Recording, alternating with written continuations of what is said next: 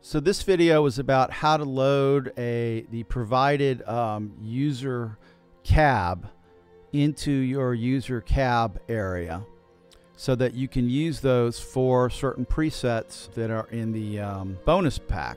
Specifically, these from 26 on down to 40 are all very, they're all pretty much covering the songs from a certain famous guitar player who hit the London scene in 1967 and turned the world around. So you can see in mine, I'm already loaded in preset one, and it's called Jimi Early number one.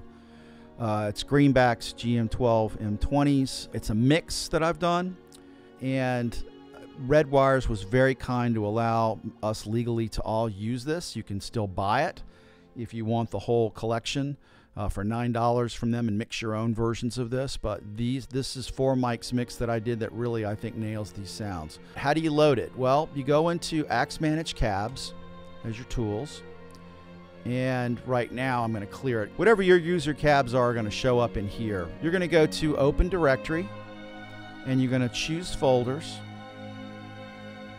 And this uh, this is this folder right here. That that uh, cab IR is in there. So if, if you pick this and click open, it's going to find the user cab.